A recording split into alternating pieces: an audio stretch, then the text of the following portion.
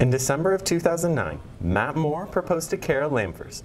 A few months later, he proposed something else. She was my fiance, and I was like, "We just bought this building." She's like, "Why? It's a terrible piece of property." You literally could have put a, pulled a brick out of that wall. Like the building probably should have been bulldozed and started over.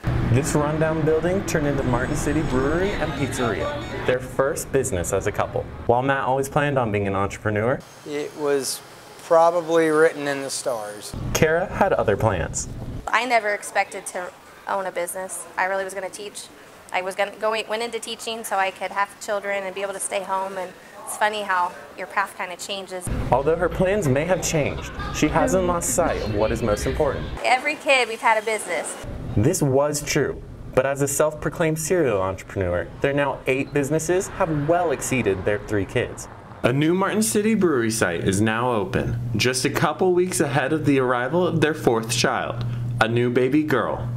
After multiple pizza locations, the Moores wanted something a little different and closer to home. Since opening Love Coffee two years ago, Kara has spent many hours working at the store with her kids by her side. My poor kids sometimes get thrown in the car and we have to go run up and fix something. Um, so I guess the reality that it, being an entrepreneur has hit a little bit more. As their family grows, the Moores will continue to pursue their passion and entrepreneurship.